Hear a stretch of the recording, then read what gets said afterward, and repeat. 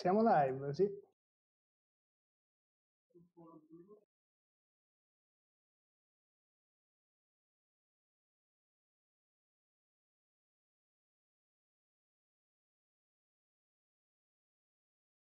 Sentito e sensibile. Ma la posso fare della battuta, la battuta dell'ospite speciale di questa sera? O era troppo così? Vietata. Allora ragazzi, buonasera a tutti. Siamo qui con la nostra ospite, Claudia Speciale, archeologa preistorica, assegnista di ricerca e, non ultima cosa, segretario della Confederazione Italiana Archeologi della Sicilia.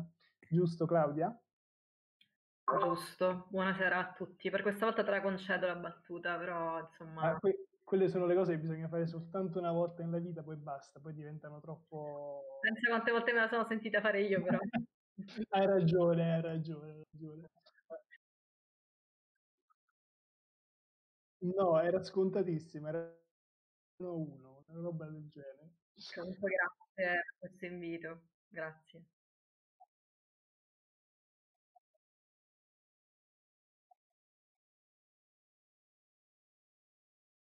Ho, il microfono spento, non mi sentivano.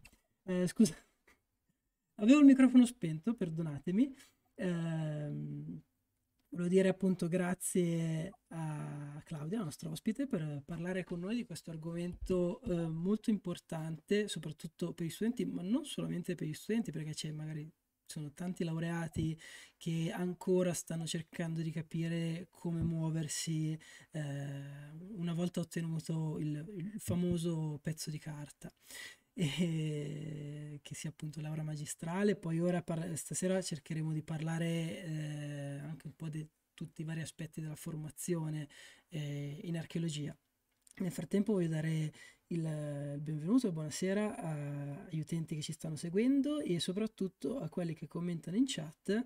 Eh, mi raccomando, se avete domande scrivetele in chat, se non avete un account Twitch eh, non ci vuole niente per farlo e eh, se, se, vi va mettete anche un follow al canale che ci fa sempre piacere. Quindi buonasera Silver Pixie, buonasera Mario 6 e Alice, Sera- Alice Seraf. Andiamo buonasera. a bruciargli la casa! Come potete sentire dalla notifica di Barbero, ogni volta che ci metterete segui partirà eh, il nostro storico preferito con questo messaggio. E, siccome eh, la, la, tematica di stasera è diciamo, importante soprattutto per quanto riguarda gli studenti, tra di noi c'è un, un archeologo che ancora sta percorrendo suo, diciamo, la sua formazione e che è il nostro buon Jacopo Scozze e quindi le domande le lascerei, le lascerei a lui. Buonasera a tutti, io sono qui in diciamo ideale rappresentanza dei nostri ascoltatori, o almeno di quella buona fetta che immagino eh, sia qui per eh, trovare eh, una risposta delle domande o per sentire delle domande che ancora non si era posto. Eh, intanto vi stimo tutti perché diciamo bisogna combattere la propria ansia per affrontare certi, certi discorsi e questo sicuramente è uno dei, di quelli per cui ci vuole un po' di eh, motivazione per mettersi a, a parlare ed ascoltare qualcuno che parla di questi argomenti. Almeno così la vedo io. Allora, eh, saluto anch'io la nostra ospite Claudia Speciale e avrei subito una domandina di quelle leggere per lei. Eh, una domandina di quelle che magari uno avrebbe fatto bene a porsi nel mio caso 5 o 6 anni fa, magari qualcuno ehm, eh, sta iniziando a pensarla solo alla fine del proprio percorso di studi. Comunque, Claudia, con una laurea in archeologia, quali carriere professionali è possibile intraprendere? Ok, sì, iniziamo proprio con quella difficile, ma anche... o, quelle più difficili, Claudia, iniziamo sempre così. Con la risposta più breve, tra l'altro. È più breve, perché breve. Dunque, io credo che eh, chi si laurea in archeologia, eh, grosso modo, ha tre strade principali eh, che si possono riassumere così. Una è quella eh, di eh, ricerca, mondo accademico e quindi in qualche modo rimanere eh, in ambito universitario o nell'ambito degli enti di ricerca. La seconda direi che è quella del lavoro, diciamo, da libero professionista, quindi fondamentalmente partite IVA o comunque chi eh, si occupa di archeologia preventiva, comunque più eh, lavoro da campo di questo tipo. E il terzo macrosettore è quello della comunicazione, quindi comunicazione, musei, ambito turistico. Poi chiaramente c'è anche la strada del settore pubblico legato ai beni culturali, eh, quindi se vogliamo inserire anche quella, mh, fondamentalmente possiamo considerarla una quarta strada, se vogliamo proprio dirla tutta, che ovviamente è quella magari un po' più complessa, però effettivamente la dobbiamo considerare. Quindi alla fine facciamo, ci sono quattro strade, cioè o settore pubblico e eh, Ministero dei Beni Culturali e simili, o settore pubblico ma ricerca, quindi università e centri di ricerca, settore privato come libero professionista o settore privato per lo più, anche se spesso poi si lavora per enti pubblici, e quindi eh, comunicazione museale, lavoro come, come, educatore museale, nel migliore dei casi anche poi diventare responsabile all'interno di un museo, per esempio, parchi archeologici, ehm, ma se vogliamo possiamo far rientrare anche il settore turistico perché ci sono anche not- molti nostri colleghi, per esempio me compresa, che hanno preso la qualifica per eh, l'abilitazione, se vogliamo chiamarla così, per guida turistica, per esempio, e svolgono più che bene questo, questo lavoro. Quindi, diciamo, come prima sintesi mi sembra già abbastanza efficace. Claudia, secondo te quali sono, qual è la strada più facilmente percorribile di tutte quante queste strade e quella più, più difficile? Beh, allora, ehm, è una domanda... Tutte quante ugualmente difficili. Eh, chiaramente ogni settore ha le sue difficoltà e i suoi limiti. Eh, chiaramente, per esempio, il mondo accademico è un, un, mondo molto competitivo e soprattutto eh, in proporzione alla quantità diciamo, di laureati o comunque di persone che intraprendono questo percorso, i posti poi a tempo indeterminato sono anche relativamente pochi. E quindi sicuramente una, una carriera molto difficile che mh, diciamo, pochi riescono a portare, a portare, a compimento. Dipende anche molto dalle proprie propensioni, cioè c'è chi è più adatto per il lavoro del libero professionista, che preferisce avere un tipo di, diciamo, di, anche di approccio col quotidiano diverso, no? perché il libero professionista in qualche modo deve stare sempre sul pezzo, si, si potrebbe dire. Ovviamente anche chi lavora in un ente pubblico deve, stare, deve, lavorare tanto, però magari ha più gli orari di ufficio, ha più una, diciamo una, una visione anche del mondo, della quotidianità e della settimana un po' più standard. Quindi secondo me dipende anche molto da, dalle tue attitudini fondamentalmente. Perfetto. E secondo te, prima hai parlato anche eh, cioè, del fatto che ci sono parecchie persone che si laureano in archeologia. Secondo te, eh, ogni volta che mi è capitato anche di parlare sia qui con i ragazzi che con altri amici, tutti quanti si lamentano del fatto che ci sono troppi iscritti archeologia e non si riesce a trovare lavoro. Secondo te è vera questa cosa? C'è stato un calo, hai notato un calo o al contrario un aumento degli iscritti? Perché la gente continua a iscriversi a archeologia? Allora, secondo me c'è stato un aumento degli iscritti, però eh, tipo 10-15 anni fa c'è stato un, periodo abbastanza florido nelle, nelle, iscrizioni, nella quantità di persone che ha ritenuto che questo percorso fosse, fosse utile, no? anche per insomma, che si trovasse lavoro abbastanza facilmente. Credo che ultimamente ci sia un po' di decrescita, ma credo che sia proprio una cosa generale di eh, iscrizioni proprio all'università che sono diminuite o forse si tende a convergere di più su materie scientifiche o su materie per cui si pensa che ci possa essere più facilità di, nel mondo del lavoro. Eh, oggettivamente mh, non è semplice mh, ci sono molti nostri colleghi, eh, lo sappiamo tutti, che magari scelgono poi di fare anche altre, altri percorsi, scelgono l'insegnamento a scuola. Andiamo a bruciargli la casa! Io non ti so dire se ci sia un esubero di iscritti o comunque di laureati nelle nostre discipline rispetto a quello che offre il mondo, il mondo del lavoro. Mm, sicuramente eh, è importante non limitarsi, quindi non uh, decidere, non so, di dover rimanere necessariamente nella stessa città o di rimanere necessariamente in un determinato ambito invece che in un altro. Io personalmente ho fatto ricerca, faccio ricerca, ho fatto appunto la guida turistica, ho fatto eh, archeologia preventiva, ho fatto un po' di tutto. Secondo me questo è già un buon modo per evitare di fossilizzarsi su un settore o su un luogo, quindi per esempio accettare la possibilità di spostarsi, di andare a lavorare in altre zone. Eh, secondo me, mh, facendo così, in realtà alla fine, in un totale, mettiamo di laureati nel complesso nel mondo italiano, eh, non, non, c'è un esubero di, di, laureati, cioè secondo me si, si riesce a trovare se, con un po' di elasticità un lavoro attinente. Eh, quindi mi sento di dire questo. Quindi Claudia, um, diciamo uno studente che sta uscendo dalla laurea e che magari ha anche un'idea rispetto a tutte queste opportunità che tu ci hai elencato um, su, su, quello che preferirebbe fare nel post, tu gli, gli suggeriresti comunque magari di aprirsi più strade, tenersene più aperte possibile eh, rispetto magari a fare l'all-in, a concentrare tutte, tutte le proprie risorse, le, tutto il proprio tempo ehm, verso una sola strada. Allora, secondo me ehm, sono valide entrambe le scelte, non voglio fare una cosa un po' così cerchio bottista, però nel senso, secondo me è utile ehm, non eh, prefissarsi necessariamente un percorso unico, cioè scommettere tutto su una cosa ehm, su un percorso, anzi per meglio dire, può essere diciamo un po' limitante. Ti faccio il mio esempio, io mi sono cominciato a occupare di archeobotanica nello specifico negli ultimi anni della mia, diciamo, chiamiamola carriera, comunque del mio lavoro.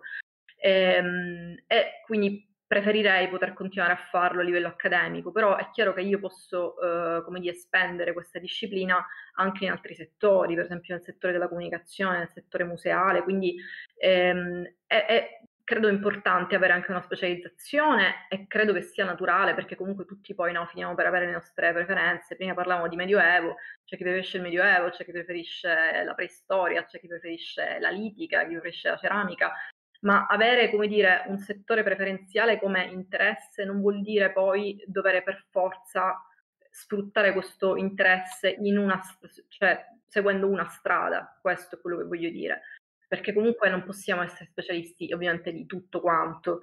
Quindi magari avere degli interessi prevalenti e poi tenersi aperti per come utilizzare quelle cose che si imparano e che si sanno fare.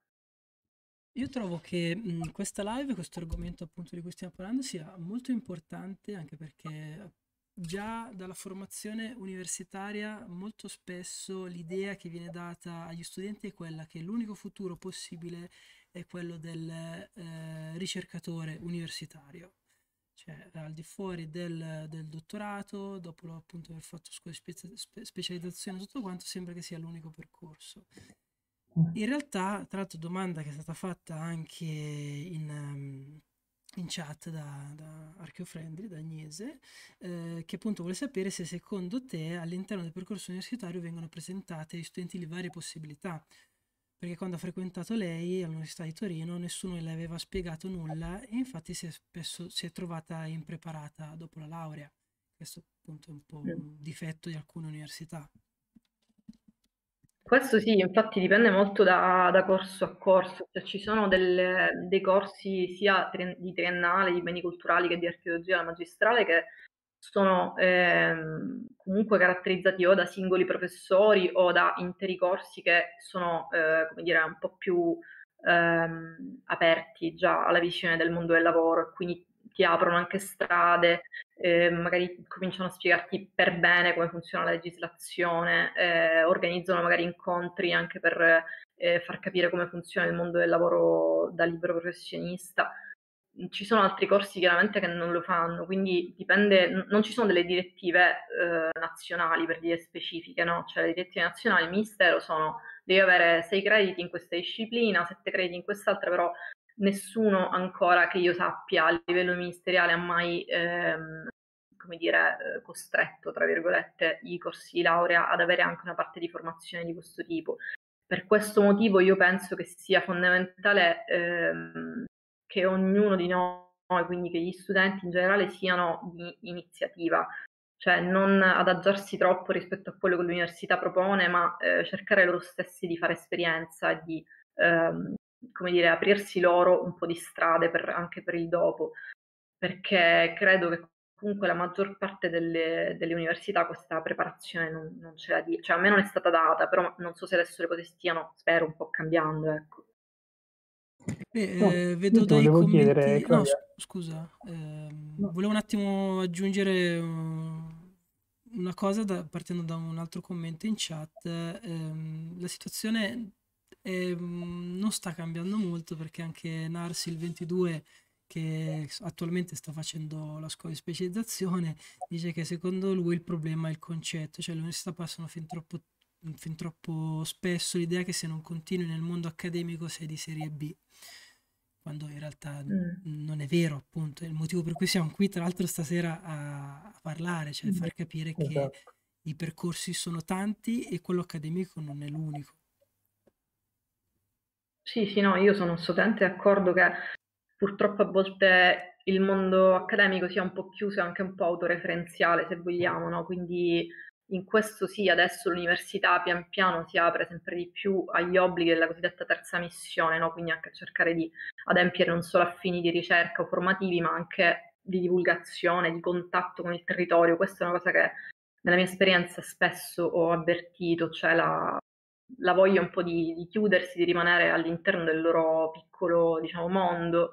E, e questo chiaramente poi è un boomerang in realtà, no? Perché vabbè, come fate voi con le Let's Dig Again, che secondo me è bellissima come, come iniziativa perché parte proprio da un presupposto opposto, di apertura invece, cioè ehm, credo che sia la cosa, una delle cose che permetterebbe all'università anche di fare un, un passo avanti, cioè di essere meno referenziale, però Chiaramente poi, mh, cioè, ognuno deve seguire una- la strada che sente più affine e non rimanere fossilizzato appunto con l'idea che solo la, la strada universitaria della ricerca è quella, diciamo, più, più rosea o che ci darà più soddisfazioni, perché spesso magari è anche quella più frustrante, quella che eh, ti fa perdere più tempo della tua vita la domenica a scrivere gli articoli, per dire, cioè Ehm, un- diciamo, ci sono sempre chiaramente luci e ombre di tutte le strade che si intraprendono, però sicuramente non mi sento di dire che la strada accademica sia quella necessariamente migliore o di, ma- di maggiore qualità, ecco, mettiamola così. Mi hai ricordato Io- che devo finire due articoli, tra l'altro, e mi stava passando di mente. Lascio la parola a Jacopo. Beh, siamo pari da questo punto di vista. Comunque volevo fare, diciamo, una domanda un po' subito di conseguenza. Ehm, quindi, secondo te è possibile vedere la cosa non tanto come un mondo ehm, accademico, mondo acc- accademico verso il resto delle possibili professioni? Ehm, voglio dire, è possibile intraprendere una strada per cui magari qualcuno ehm, decide di passare un certo tempo, eh, non lo so, da libero professionista piuttosto che con una mh, professione a cui magari è più facile accedere nel, nell'immediato post laurea per poi rientrare nel mondo accademico, magari verso un settore di ricerca che gli è più affine. Eh, comunque, fa- intraprendere un percorso professionale un po' ehm, ondivago, se vogliamo. Ok. Allora, eh, questa è una bella domanda, nel senso che il mondo accademico, appunto, come è stato anche detto da, da uno dei, dei presenti, è, ehm, è un mondo molto, su- da certi punti di vista, un- abbastanza elitario. Quindi il fatto di ehm, dire magari al, al tuo professore, al tuo tutor che ti allontani, che stai un anno, due anni a fare il libero professionista, eccetera, può anche non essere vista come una cosa positiva, formativa o utile. Ehm, in più c'è anche da dire che ci sono comunque dei, mh, dei tempi un po' da rispettare, nel senso che, per esempio, eh, se uno dopo, mh, dopo la laurea fa magari un dottorato, una scuola di specializzazione, poi vuole fare delle applications, quindi candidarsi per eh, dei postdoc eh, o comunque degli altri assegni di ricerca, quello che, che- che può essere. E a volte ci sono anche dei limiti, no? Cioè, per esempio, puoi mandare questa domanda entro due, tre, cinque Andiamo anni a bruciargli la casa. sennò non, non vale più. Eh, limiti d'età, mh, questi diciamo un po' più rari, però ci possono essere tutta una serie di limitazioni che in qualche modo, ehm, eh, come dire, ti, ti impediscono di fare una carriera che sia troppo ondivaga, come tu l'hai eh, chiamata. Quindi eh, è, è rischioso, si può fare, ripeto, io personalmente mi sono ritrovata a farlo perché non è sempre facile finire una borsa di studio, averne subito un'altra, avere una continuità così eh, eh, frenetica, no? a volte non è possibile e oggettivamente uno deve campare, quindi io personalmente quando ne ho avuto bisogno ho fatto anche altro perché non si può, perché poi si rischia il contrario, cioè magari di dipendere dalla vita accademica in maniera esclusiva e quindi magari accettare condizioni non buone di lavoro, accettare lavoro gratuito, accettare cose che possono succedere in qualunque ambito e per qualunque strada che prendiamo, però a volte quella accademica è un pochino più spinosa da questo punto di vista.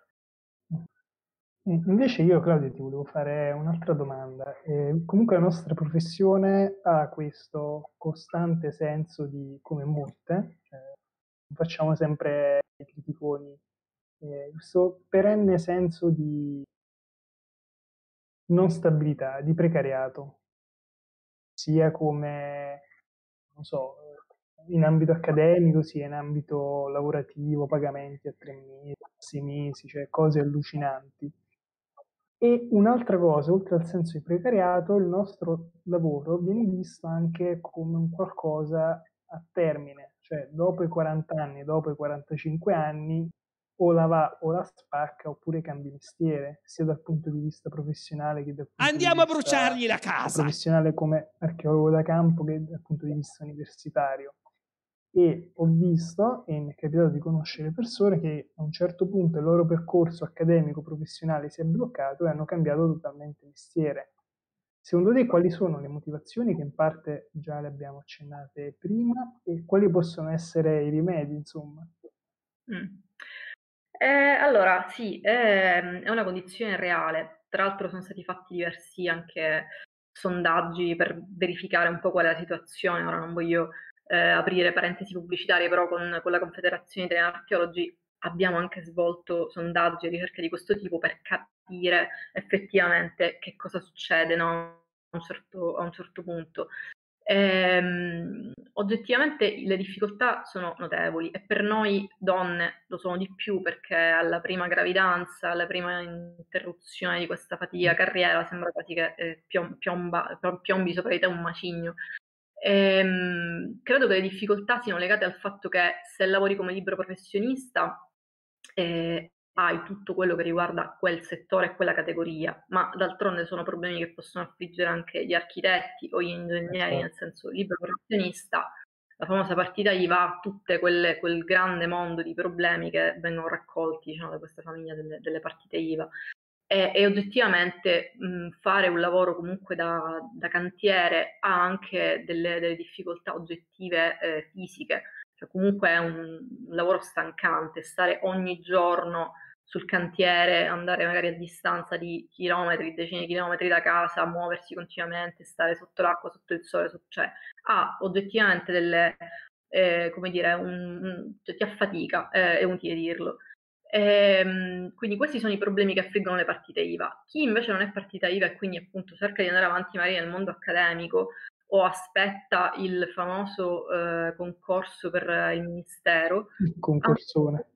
il concorsone di turno, a un certo punto dice magari ma chi me lo fa fare? Nel senso magari posso cercare un'altra, per un'altra strada. Quindi questo senso di precarietà, per arrivare anche poi a un discorso più filosofico sull'archeologia, eh, in Italia ha motivo e ragione di esistere, nel senso che effettivamente molti di noi rimangono precari, comunque in situazioni non stabili, eh, fino ad età abbastanza avanzate, no? siamo giovani fino a 40 anni, ma fino a un certo punto, perché comunque oggettivamente se guardiamo la media europea è un po' diversa.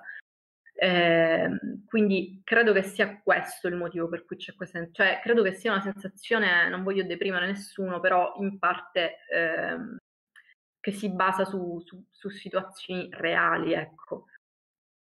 Eh, quindi secondo me l'unica cosa che, cioè quest, non voglio sembrare un vecchio, una vecchia ministra che diceva che siamo troppo ciusi o cose così, però veramente io credo che la flessibilità sia la chiave in questo momento storico, soprattutto per i beni culturali, cioè davvero non pensare di incornarsi su una strada e doverla perseguire a tutti i costi, se no vuol dire che siamo dei falliti, se non diventiamo la, il ricercatore X o Y, cioè eh, trovare il giusto equilibrio tra quello che ci piace e quello che in qualche modo ci viene offerto o che in questo momento storico si, si, si, si cerca a livello lavorativo, no? Ehm, per esempio io sono scarsissima con le tecnologie, voi probabilmente siete molto più bravi di me, eh, sicuramente sapere usare bene le tecnologie è una cosa fondamentale, inutile che ce lo neghiamo. Eh, lavorare per un museo, per fare comunicazione museale, credo che sia molto più valorizzato e molto più interessante di quanto magari non lo fosse dieci anni fa, per esempio.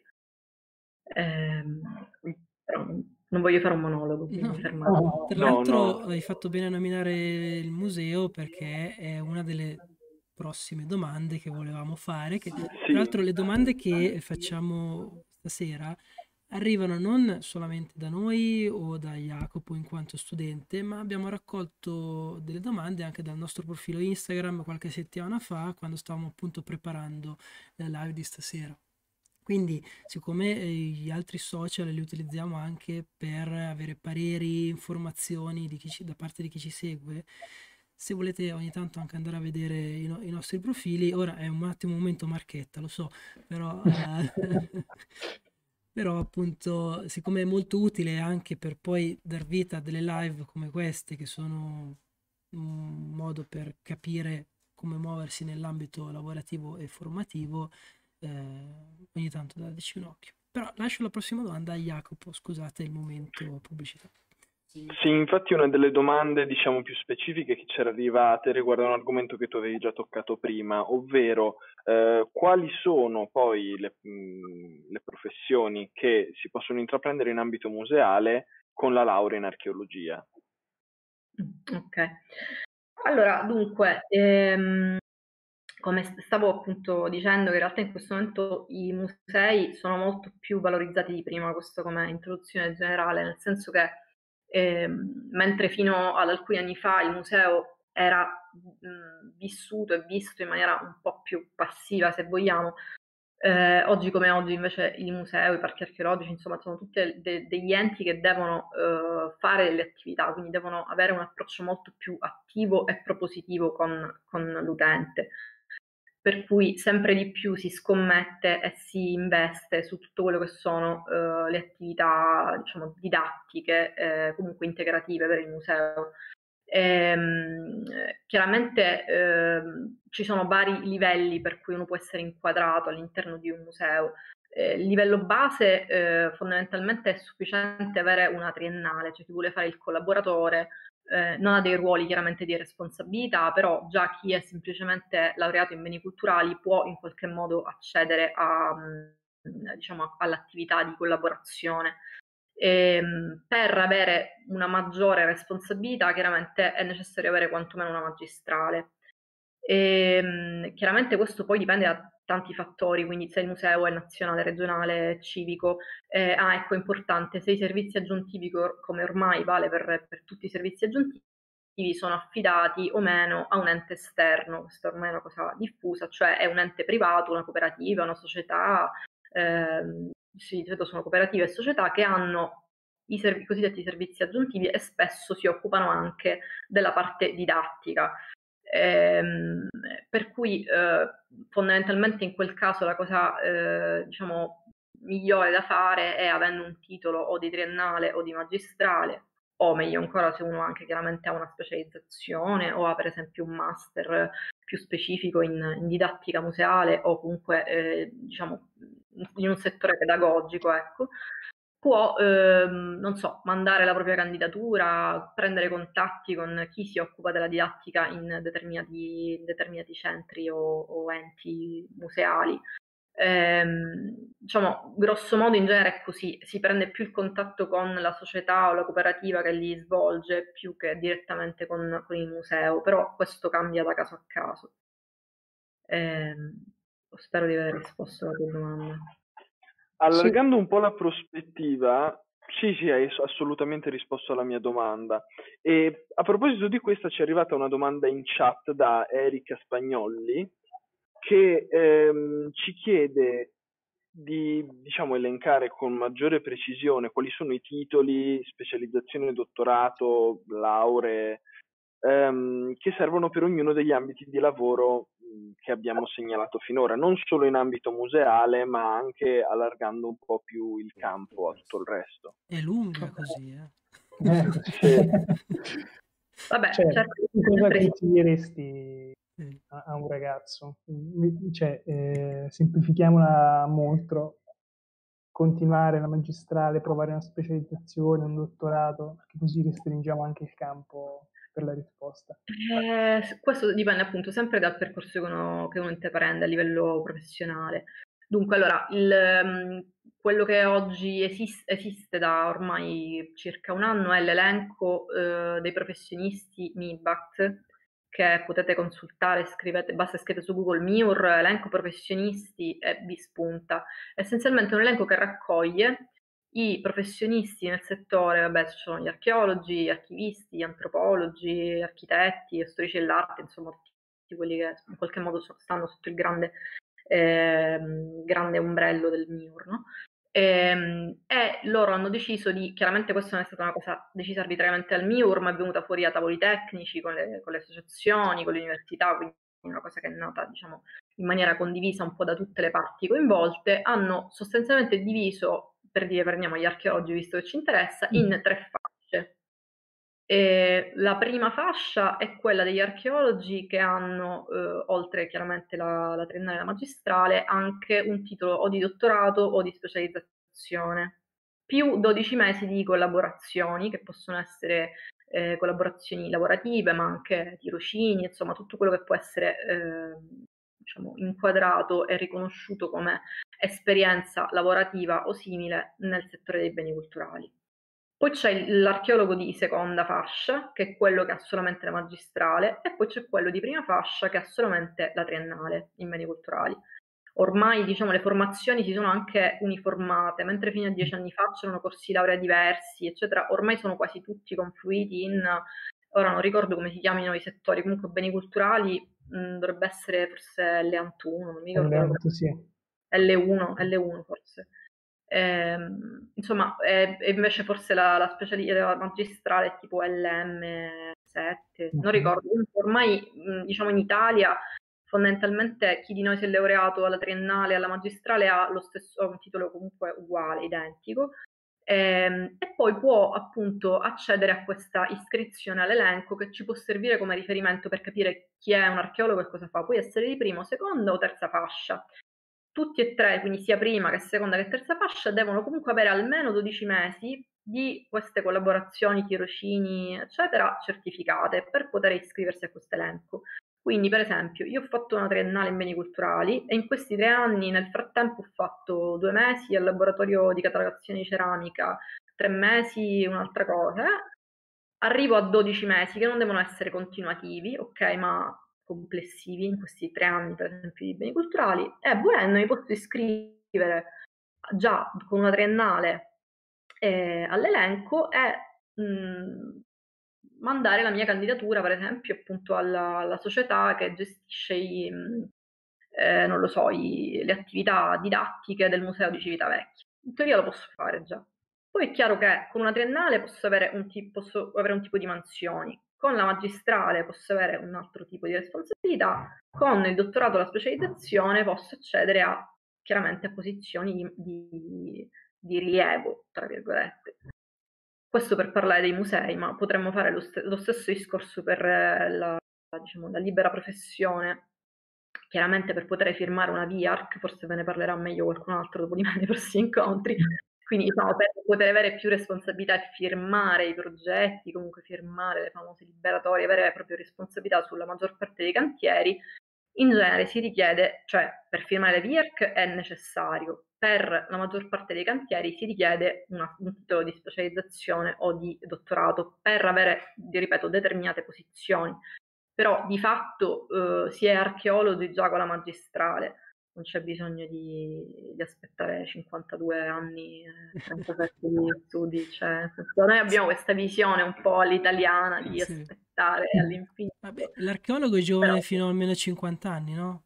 Poi, Sì. eh, Certo. cioè, di tempo giovani archeologi. Quindi. Tra l'altro era arrivata una domanda dalla chat da Mirko Banks se c'era appunto differenza tra magistrale e specializzazione, però nost- i nostri follower sono molto preparati e gli hanno risposto in blocco eh, Immediatamente. immediatamente. Grazie, ad fare il io nel frattempo, così tanto... No, appunto, comunque eh, c'è una, sì, una differenza. possiamo dire se vogliamo, diciamo, essere, sì, la, la, la magistrale, io ho detto specialistica perché con il precedente ordinamento universitario la specialistica era quella che ora è la magistrale, mm-hmm. che non è da confondere con la specializzazione invece, che è una vera e propria scuola a cui si accede dopo la magistrale eh, che caratterizza ormai poche professioni tipo storico dell'arte, architetto e pochi altri, e noi archeologi, ehm, e appunto serve per eh, diciamo, poter accedere una, ad alcune posizioni di maggiore responsabilità, se vogliamo, eh, poter accedere ad alcuni concorsi, insomma, viene ancora richiesto questo titolo in Italia abbastanza spesso. Ci chiedono sempre dalla chat se oltre ai 12 mesi di lavoro sul campo è richiesta obbligatoriamente anche la conoscenza di una lingua straniera a livello B1.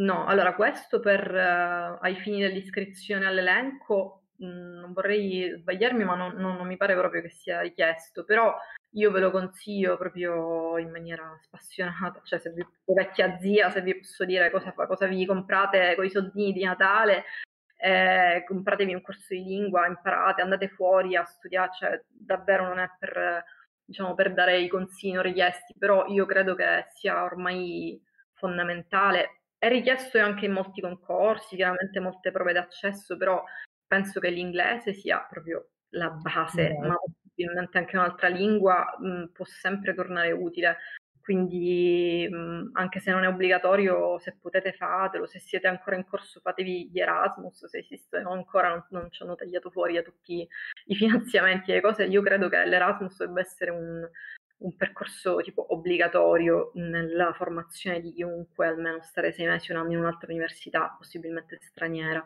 ma non è per, ehm, perché non credo nell'Italia, credo che la formazione italiana sia buona, ma credo che tutti lo debbano fare, quindi che siano gli spagnoli e i francesi a dover venire in Italia, quanto noi dobbiamo andare fuori. Quindi è proprio una visione per me di scambio e di necessità di... quindi studiate le lingue perché vi servono sicuro, 100%. Io andrei avanti con un'altra domanda che si riallaccia a una domanda che è uscita adesso in chat. In chat ci chiedono se gli scavi che si fanno durante il percorso formativo ehm, sono, diciamo, contano all'interno di questi 12, ehm, 12 mesi lavorativi. Ah, oltre a questa domanda, io volevo, diciamo, rilanciare e che eh, tu prima avevi parlato, diciamo, dei laboratori che si fanno ehm, all'università, approfondendo magari, non lo so, l'aspetto della ceramica piuttosto che l'aspetto delle tecnologie. Ti volevo chiedere, ehm, queste competenze, oltre, che, oltre a chiederti se contano uh, all'interno di questi fatidici 12 mesi lavorativi, ehm, queste competenze che si acquisiscono appunto in tirocini, eccetera, eccetera, sono anche un plus nel momento in cui un archeologo si propone nel mondo del lavoro e come può eventualmente certificarle?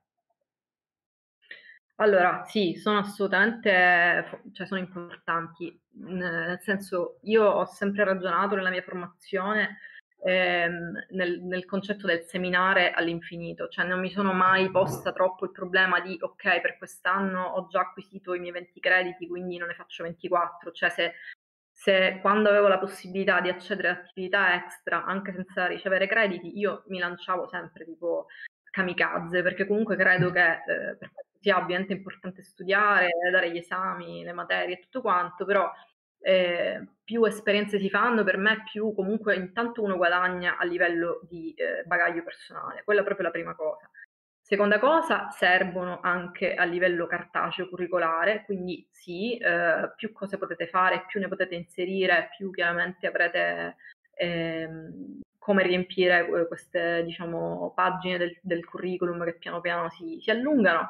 Ehm, la cosa migliore, secondo me, è sempre farsi lasciare un certificato alla fine del, cioè fate un, laboratorio, fate un tirocinio, fatevi subito rilasciare un attestato, perché poi andare a recuperare il funzionario ormai andato in pensione, perché dopo due anni ti ricordi che hai fatto il tirocinio alla soprintendenza e volevi l'attestato, oppure il professore che tipo ha cambiato vita nel frattempo e non lo riesce a trovare, non ti può certificare il tirocinio, cioè conviene, finisco l'attività, chiedo subito, scrivo tre, tre volte, quattro volte la mail responsabile che ha troppe cose da fare, ogni volta mi, mi, mi rimanda e, e, cerco di ottenere subito il certificato. E poi tutte queste cose possono essere riconosciute per, ai fini della, dell'iscrizione all'elenco dei professionisti. Sì, anche queste. Ovviamente mh, poi viene esaminato tutto caso per caso. Eh, però per esempio la Confederazione dell'Archeologi ha un, un buon, diciamo, una mail specifica per gli attestati, quindi uno può anche chiedere, magari se è un socio può chiedere un consulto e dire ok queste cose mi valgono, non mi valgono, le posso fare certificare, insomma ehm, da questo punto di vista poi insomma, ci, ci, si dà una mano, però tendenzialmente quasi tutte queste attività possono essere certificate e incluse ai fini del, dell'iscrizione. Ok, Claudia, ti faccio una domanda, che questo è uno degli argomenti che si sta dibattendo in chat, riguardo la scuola di specializzazione. Allora, ci chiedono se è conciliabile con il lavoro e eh, un altro problema di molte scuole di specializzazione è che ripetono sempre programmi già fatti durante gli anni precedenti. Qual è la tua opinione a riguardo? Mm. Allora, ehm, è conciliabile con, con il lavoro perché non, non c'è nessuna prescrizione, nel senso che loro non ti impediscono di lavorare mentre sei iscritto, però ogni scuola ha eh, un proprio calendario didattico che può o meno essere eh, conciliabile col tipo di lavoro che fate. Per esempio, ci sono alcune, un, alcune università che preferiscono concentrare praticamente tutte le lezioni, che ne so, in 3-4 mesi in un anno, per esempio, ci sono altre, altre scuole invece che, eh, come dire, distribuiscono l'attività didattica, che ne so, una settimana ogni mese, per esempio. Quindi chiaramente questo poi dipende dal tipo di lavoro che fate, però formalmente non c'è nessun problema essere iscritto a una scuola di specializzazione e eh, allo stesso tempo lavorare. Eh, è chiaro che eh, vi toglie del tempo, eh, quindi può essere difficile gestire entrambe le cose contemporaneamente. Ehm, qual è l'altra domanda? Me la sono dimenticata sulla scuola. È il, fatto che comunque molte le scuole vanno a ripetere i programmi, essendo sì. gli stessi professori della triennale, della magistrale delle, delle scuole. Io in generale sconsiglio di fare per esempio la magistrale dove avete fatto la triennale eh, e di fare la scuola di specializzazione dove avete fatto la magistrale. Tendenzialmente più uno riesce a variegare il proprio percorso eh, più secondo me riesce intanto a, a, scollegarsi un po' dalle logiche poi troppo a volte pesanti dell'accademia, che se tipo tu cominci in un modo, fai la triennale in un posto, la magistrale, eccetera, poi rimani sempre, sempre legato lì. Però dico, questo è il mio consiglio, alla fine non è, non è, cioè nel senso chi vuole continuare a farlo può continuare nello stesso Ateneo, però c'è questo limite, è quasi sicuro che comunque alla scuola di specializzazione dell'università dove avete fatto i corsi, il corso di laurea, troverete professori simili, eh, magari anche appunto programmi simili, eh, questo è credo inevitabile perché alla fine il corpo docenti è quello, diciamo il, la politica di quell'Ateneo è quella, quindi difficilmente variano in maniera sostanziale, per cui l'unico modo è spostarsi e andare in un'altra scuola. Mm, infatti la cosa che ti volevo chiedere, eh, molte persone si lamentano di questo fatto, soprattutto perché dopo cinque anni e due lauree, andare a fare di nuovo un corso di archeologia romana, archeologia medievale, archeologia preistorica e c'è veramente un problema. Secondo te andrebbero rimodulate, andrebbe rimodulata l'offerta formativa di queste scuole? Tipo al posto di un corso di archeologia romana, che ne ho fatti quattro, fare un corso, che ne so, come aprire la partita IVA e tenere la contabilità, ad esempio. Sì, secondo me sì, cioè dovrebbe essere un po' più indirizzato al mondo del lavoro perché siamo tutti magari stanchi da 5 o più anni abbiamo, diciamo, eh, con cui abbiamo occupato le nostre vite, studio, esami, eccetera, quindi fare cose che siano più legate al mondo del lavoro, quindi fare per esempio appunto può essere la partita IVA, come può essere magari fare di più appunto la didattica, il rapporto con il pubblico, eh, più legislazione, perché per esempio si fa, ma secondo me se ne fa fin troppo poca, economia dei beni culturali, queste materie in parte si fanno, però effettivamente sono un po' eh, sacrificate spesso rispetto all'ennesima forma di eh, archeologia romana. I professori cercano di venirci incontro, quindi magari chiaramente non ti fanno fare il corso base di archeologia romana, ma piuttosto cercano di farti, che ne so, la, scegliere un argomento che ti piace, che tu puoi sviluppare e magari addirittura te lo fanno poi eh, diventare un articolo o una base di un articolo scientifico che ti può servire, per esempio, no? oppure tu già stai facendo un lavoro, cioè no, io quando ho fatto la scuola di specializzazione, per esempio in quel momento stavo facendo uno scavo e quindi la mia tesina per dire di antropologia era sui morti che stavo scavando per dire, cioè puoi anche cercare di trovare delle forme per renderti la cosa meno noiosa e meno ripetitiva, perché poi, ripeto, dipende anche da te, cioè io non mi sono mai aspettata, devo dire, basse aspettative da, dal contesto, sono sempre un po' io a rompere le scatole, a voler indirizzare un po' le cose, no? quindi quelli, quello che uno può fare è anche cercare di... Ehm, mettere quello che ti piace tu all'interno del, del tuo percorso di studi, no? quindi mh, cercare di indirizzarlo un po' di più e di non aspettarti troppo da, dall'alto che ti arrivino le cose. Ecco. Io allora ho proprio una domanda per tirare le somme proprio direttissima, ma quindi serve a lavorare la scuola di specializzazione mi dà più possibilità di trovare un buon un lavoro e magari anche un buon lavoro? Guarda, ehm, secondo me in sé per sé non ti permette più facilmente di avere un lavoro, però sicuramente mh, ti può aprire qualche piccola strada in più, però a che prezzo? Io di altri due anni di, diciamo, di lavoro, di studio, quindi eh, esatto, eh, di tasse. Molti, io diciamo ho molti, molti colleghi, per esempio, sia quando l'ho fatta io, ma anche ora, che prendono questo titolo da grandi, cioè che mh, cominciano a lavorare sul campo, magari cominciano a fare liberi professionisti o quant'altro, poi dopo tipo 20 anni già che avevano smesso di, di studiare, a 40-50 anni dicono vabbè sai che c'è, effettivamente mi serve perché posso mettermi a firmare VIARC o posso avere ruoli di maggiore responsabilità e allora mi prendono anche il titolo, lo fanno in molti, eh. Eh, io ti dico, mh, sono un po' contraria per il semplice fatto che eh, siamo l'unico paese, credo, in Europa che ancora si porta dietro questa, questo retaggio un po' retro, un po' anni 50, di avere pure la scuola di specializzazione, no? Eh, cioè i nostri colleghi della magistrale possono, possono fare eh, lo stesso lavoro nostro in altri paesi, quindi ehm, non mi sento di consigliarla, però eh, dipende poi dalla situazione in cui uno si ritrova e magari invece ne ha bisogno del titolo. Eh, per me è stata un'esperienza bella perché appunto cambiando Ateneo ho avuto accesso anche a discipline che non avevo mai studiato, eh, però a livello lavorativo sì, forse mi è servito per qualche cantiere in particolare dove ho lavorato, dove ci poteva essere magari bisogno di uno specializzato, però ecco, non si può, si può vivere senza la specializzazione. E invece rispondendo alla domanda che ha posto Mirko Banks in chat, eh, il dottorato proprio come funziona e in cosa eff- eventualmente differisce dalla scuola e quali strade apre? Mm.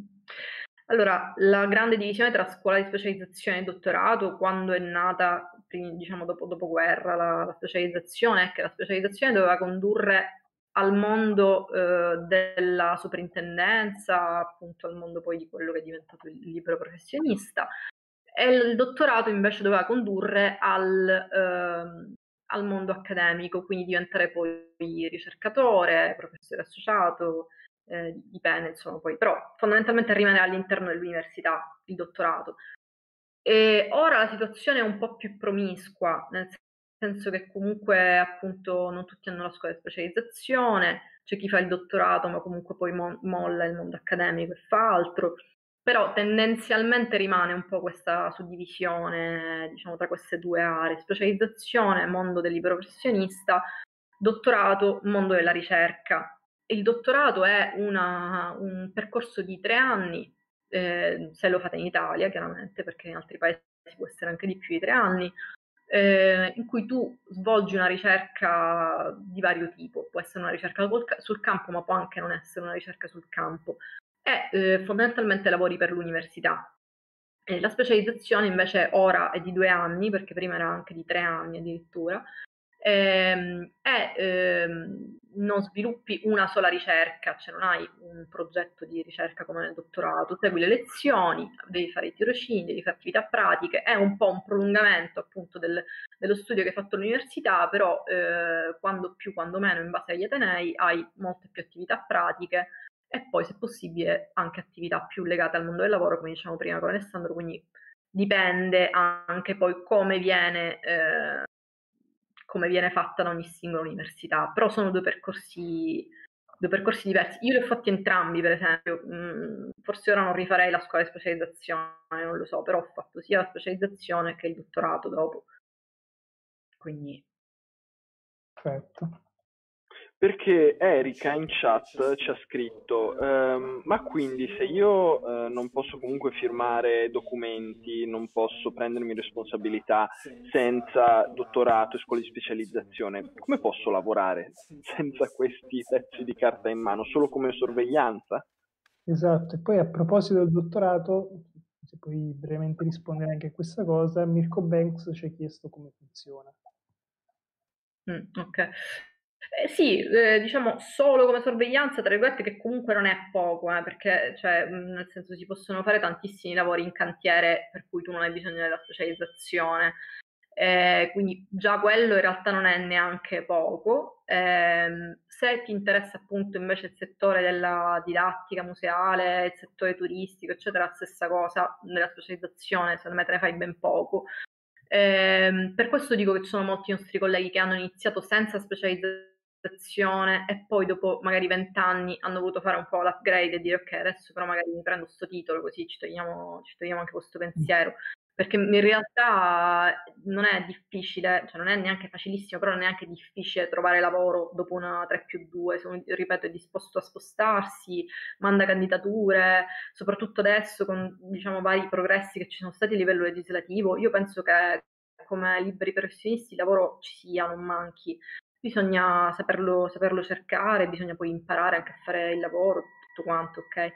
Quindi secondo me già con una 3 più 2 uno si può benissimo proporre a, non lo so, avete ditte che nella vostra regione che fanno scavi, lo sapete, avete colleghi, conoscenze di ditte, eh, voi mandate i curricula, andate a incontrare persone, secondo me non è, non è così fondamentale avere la specializzazione, può venire magari dopo, piuttosto che perdere tempo, altri due anni e intanto uno magari non lavora, poi ognuno può avere anche le proprie difficoltà economiche a intraprendere una, una, una, scuola di specializzazione, sebbene qualcuno dia anche qualche borsa di studio. Ma...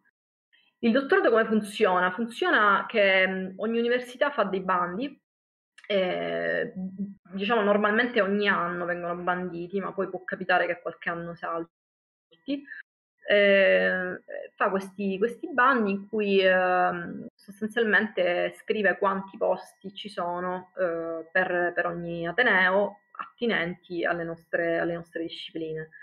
Ehm, prima c'era una razza diversa, quindi c'erano molti più posti senza borsa. Adesso invece gli Atenei possono bandire molti meno posti senza borsa, il che significa che se tu vinci la borsa di studio ehm, sono circa 1000 euro, 1000 e qualcosa euro al mese per, per tre anni, più i fondi di ricerca. Eh, questa è la situazione del borsista, diciamo della, della, borsa di studio di dottorato, anche questo a meno che non sia cambiato qualcosa negli ultimi due anni. Eh, la, la, scuola di specializzazione, come dicevo, invece si paga esattamente come l'università, tranne quando hai la possibilità di accedere alle borse di studio che sono tipo una, due per anno in genere, non credo di più. Stiamo facendo una chiacchierata molto molto interessante, si vede appunto anche dai tanti commenti che arrivano in chat, perché mh, il processo formativo di un archeologo non è ben chiaro a tutti gli studenti, quindi eh, è necessario appunto che qualcuno cerchi di indirizzarli e spiegargli come, come funziona e come soprattutto è il mondo dopo la laurea. E ehm, noi purtroppo però mh, dobbiamo chiudere in, in, pochi minuti anche perché altrimenti ci chiudono dentro il dipartimento. Eh, quindi eh, dobbiamo un attimino cercare di arrivare ad una, ad una conclusione. Non so se Alessandro e Jacopo hanno qualcosina da aggiungere. Io, io sì, allora, intanto ringraziamo Erika che ci dice grazie mille che la stiamo aiutando a fare un po' di chiarezza e Claudia, ti faccio proprio un'ultima battuta e domanda conclusiva. Cosa sarebbe da migliorare a livello accademico e cosa invece no? Allora, sicuramente ehm, noi italiani abbiamo questa, questa cosa fantastica che sappiamo fare molto bene la formazione di base. Dicevo proprio l'altra volta che siamo noi, gli italiani sono quelli che vincono più IRC Starting Grant, che sarebbero questi grandi progetti di ricerca europei, eh, che chiaramente gli italiani non in Italia, però è ovvio. Quindi a livello universitario noi abbiamo questo di buono che non cambierei, cioè che eh, facciamo una formazione secondo me incredibile proprio di base, ma questo se qualcuno di voi è stato in Erasmus o ha avuto confronti con altri eh, archeologi di altre, diciamo, di altre nazioni, la formazione di base nostra è, è, veramente buona, forse perché siamo abituati a stare in situazioni difficili, a trovare soluzioni, siamo tipo molto bravi tipo, a, a, trovare un modo non di fare abbiamo, le cose. Non abbiamo mai soldi, è quello. Esatto. quindi... Esattamente. Eh, quindi questo io eh, non lo cambierei, però aggiungerei qualcosa, nel senso che chiaramente la formazione teorica non deve andare a scapito di quella invece più pratica e più indirizzata al mondo professionale. Quindi, come abbiamo detto, eh, la cosa fondamentale sarebbe cercare di collegare un po' di più il mondo dell'università con il mondo reale del lavoro e questo noi per esempio appunto come CIA cerchiamo di farlo perché eh, stiamo cercando di organizzare degli incontri all'interno dell'università proprio per avere direttamente la possibilità di rispondere, come, come ci state dando voi, d'altronde la possibilità di rispondere alle domande degli studenti. Ma questo perché io credo che da parte dei professori non c'è sempre eh, diciamo, la volontà di non farlo, ma anche secondo me da parte loro eh, l'incapacità, tornando a una delle domande, l'incapacità di vedere al di fuori del mondo accademico, perché loro sono nati e cresciuti in quel contesto, quindi un professore universitario, a parte rari casi, ha più difficoltà a dirti come va il mondo di una partita IVA, perché non lo sa, non perché non te lo vuole dire.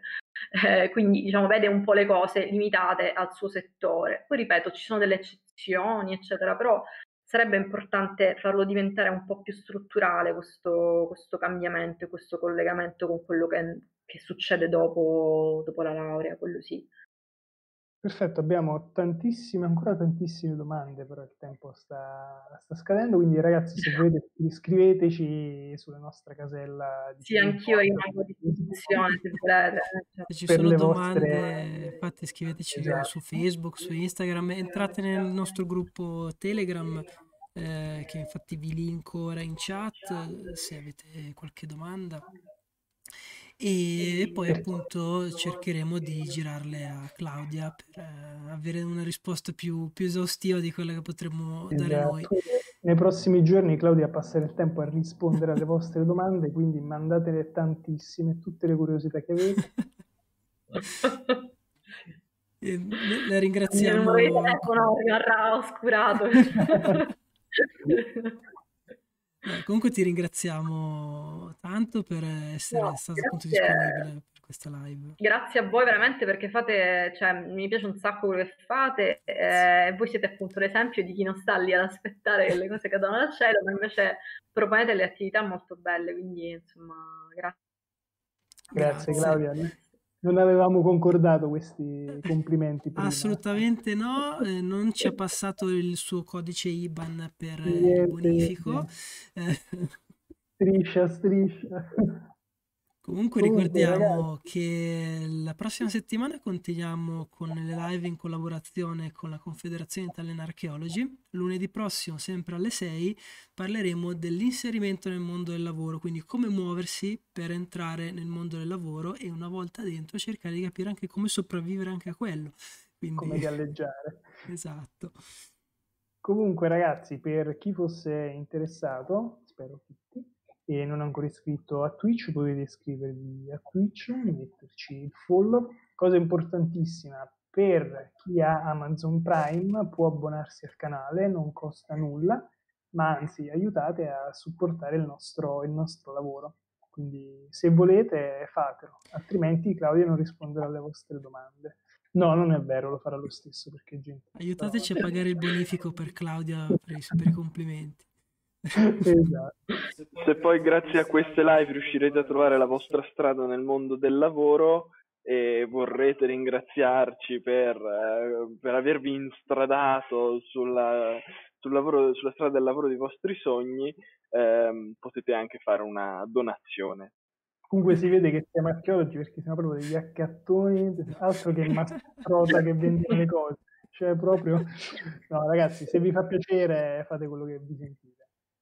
Let's pay again. Let's Brava pay- Teamwork, esatto. Es- esattamente, quindi grazie a tutti quelli che ci hanno seguito questa sera, che siete, siete numerosissimi. Eh, non, non sto qui a ringraziarvi singolarmente perché dovrei scorrere tutta la chat e ci, vuole- ci vorrebbe una puntata a parte. Eh, grazie ancora al nostro ospite, Claudia. Speriamo di rivederti ancora in qualche altra live futura, anche per delle chiacchierate magari con un tema più, più- più leggero e non per parlare appunto di formazione. Non per parlare di archeologia, parliamo di cose un po' più carine. Quindi grazie. Parliamo di storia dell'arte medievale, Potremmo magari. parlare di storia dell'arte medievale. Esatto, esatto. Un tema tanto amato da, da Alessandro. Tanto amato e caro e più. Dobbiamo fare una live per convincere il Mauro che l'arte medievale è qualcosa di interessante. Ma un po' mo- mo Ci lavoreremo. ci organizziamo, ci organizziamo. Bene, grazie a tutti, buona serata. Vi ricordiamo che alle nove e mezza c'è un'altra live. Continua la partita a Hearts of Iron 4 Chi vuole la guerra? con eh, gli storici Noi la di- vogliamo. dell'Accademia dei Pugni. Nel frattempo, grazie a Mitrin Dar che si è iscritto al canale.